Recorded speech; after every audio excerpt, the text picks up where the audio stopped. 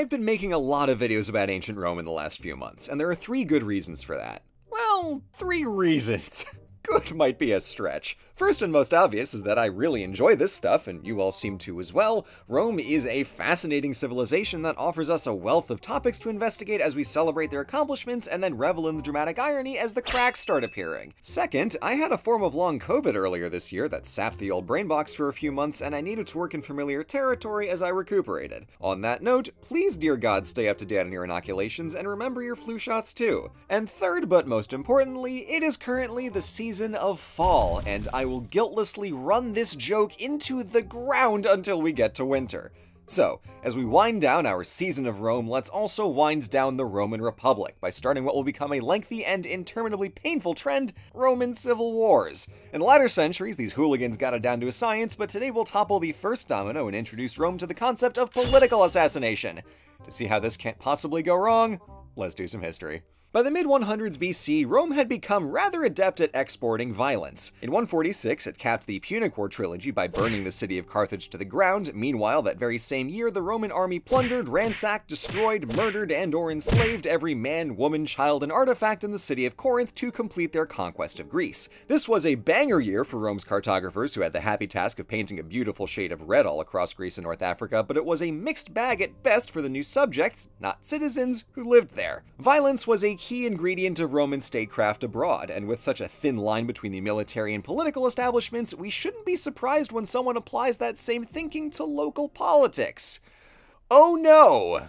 With that foreboding preamble out of the way, let's meet the Gracchi brothers. Members of the lower plebeian class, these boyos were sons of a consul and general, as well as the maternal grandsons of the great general Scipio Africanus himself. During his political career, the elder brother Tiberius set about reforming land rights to be more egalitarian. The plan was that no one could own more than half a square mile of the public lands acquired by the state during wars. Notably, a lot of public land was recently acquired by the state during wars. His idea was to partition all that out in small lots for the poorer citizens citizens so that everyone, well, actually not everyone, but all the citizens had a farm and livelihood to call their own. The thing is, a version of this law had already been in place since 367 BC, but nobody enforced it, so wealthy Romans and generals gobbled up loads of public land during recent conquests. Naturally, the reason this law was ignored was the same reason Tiberius would have so much trouble getting it back on the books. Rome's old moneyest citizens tended to be senators, who had plenty to lose from a law that capped a considerable source of their family wealth. But Tiberius was not a senator himself. Rather, in 133 BC, he held the office of tribune. In centuries past, this was the only office available to the lower plebeian class, but generations of reforms and good old-fashioned bullying eroded the social, political, and financial barriers between patricians and plebeians. And as a result, the tribune was no slouch, having the authority to veto many government actions and upper magistrates. Tiberius' own father used this veto to save Scipio Africanus from a sham bribery trial back in the 180s BC, which is supposedly why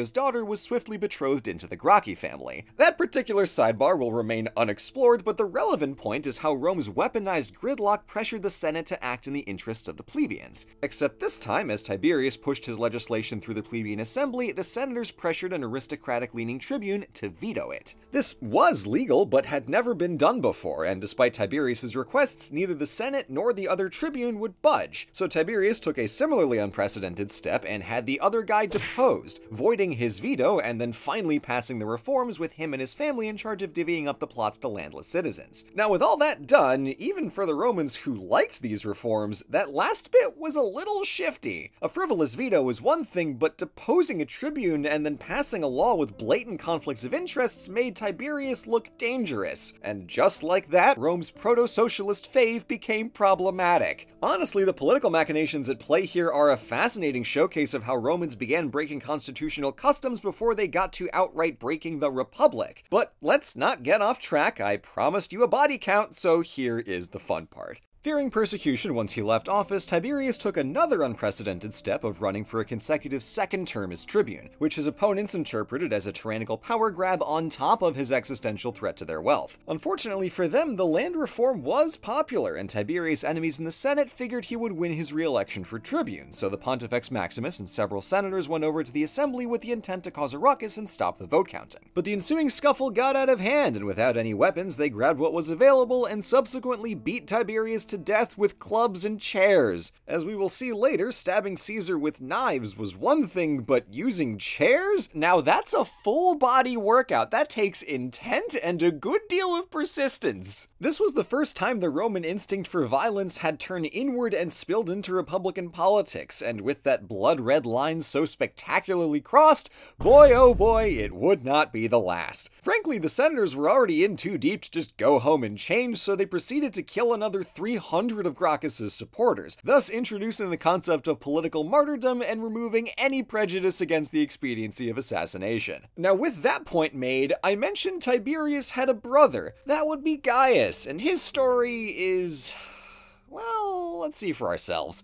Gaius was unfazed by his brother's grisly demise and embarked on even more aggressive reforms when he became tribune in 123. These new policies included redoing the provincial tax system so income went back to Rome instead of the governors, then using that new revenue to offer low priced wheat for the Roman people. Elsewhere, he cut down on bribery in the courts and stopped the Senate from playing favorites with consuls. Gaius's consistent strategy was to prevent senatorial corruption by elevating the equestrian class to advisory positions and oversight roles in the Republic. Far more daring than Tiberius's little old land laws, this thicko slate of reforms touched nearly every level of government, from revenue to public programs and courts to consuls, so it could only be passed with big help. Gaius allied with the equestrians, offering them new authority and prestige in exchange for passing those laws to help the poor and make the republic run smoother. That all sounds good and noble, but let's remember that Gaius's brother was f***ing assassinated, so the man justifiably held a grudge. To that end, he limited the Senate's power to prosecute without the Assembly's consent and forbade anyone deposed by the Assembly from holding any other office. On paper, that's a power grab for the Assembly, but those are also just reasonable laws, so despite all the reasons the Senate hated him, he remained extremely popular with the Roman people, securing a second consecutive term as tribune in 122. But it's here that Gaius played himself by raising the question of citizenship. Essentially, Rome was Rome and proper Romans were citizens, but outside of Rome, the Latin speaking population weren't citizens, and the other Italians in the peninsula had even fewer rights than the Latins. Gaius sensed widespread discontent among these allied non citizens and figured he could win them over by giving Latin rights to free Italians and making the Latins into full citizens. One can imagine how such a grateful new voting bloc would happily elect Gaius into everything forever, but while this solution was rather clever, it was intensely unpopular with every class of citizen in Rome. So the measure completely failed, his popularity plummeted across the board despite his astounding reforms, and he handily lost his next election for tribune.